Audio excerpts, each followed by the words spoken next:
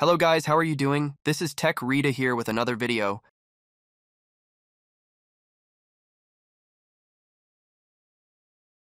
Press Windows key plus I to open the Settings app. Then, select System and click on Troubleshoot on the left side of the window.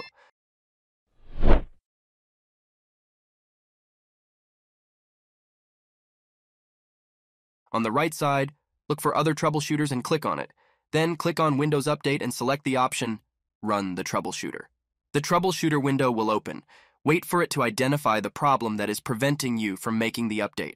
A window will pop up highlighting the issues and also indicating whether the problem has been resolved. Press the Windows key plus S key to open the search bar immediately, then type the code below and press Enter. Clean MGR. Then, select the system drive and click on OK. Please be patient while calculating how much data can be erased from the disk. Click on Clean up System Files. Then choose the system drive and click on OK. Then check all the boxes present beneath Files to delete option and click on OK. Open the control panel. Then select Programs and click on Programs and Features. You will then be taken to a page where you can change a program or uninstall it. Then, select the program that you recently installed and click on Uninstall. The confirmation window will appear. Click on Uninstall. Press the window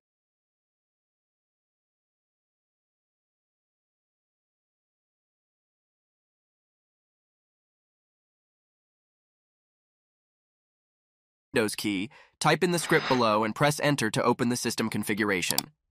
msconfig.exe. Select the radio button set before selective startup. Then, uncheck the Load Startup items. Move to the Services tab and click the checkbox present alongside Hide All Microsoft Services.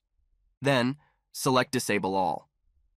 Next, move to the Startup tab and click on Open Task Manager. Right-click on any program listed on the window that pops up and select Disable, Disable all startup programs similarly. Go back to the system configuration window, click Apply, and then OK. Reboot Windows and try to download and install the update.